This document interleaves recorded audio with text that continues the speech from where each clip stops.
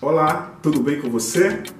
A história das lutas das mulheres e do feminismo no mundo existe há centenas de anos.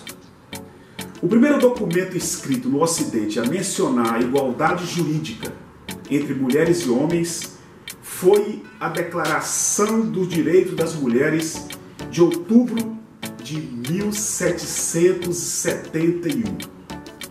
Aí você pode perguntar, por que, que o Gilbert está falando sobre isso? Por que, que o Gilbert começou esse vídeo mencionando as mulheres e o feminismo? Porque hoje nós vamos receber uma das mais importantes escritoras feministas do Brasil e do mundo, Márcia Tiburi. É verdade, a partir das 18 horas, hoje, dia 26 de novembro de 2020, aqui na TV Resistência Contemporânea. Quem vai conversar com ela? Eu e a Nayara Mascarenhas.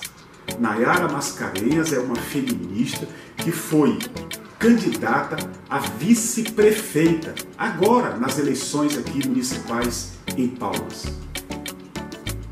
Eu e ela vamos bater um papo com Márcia Tiburi. Por isso o vídeo.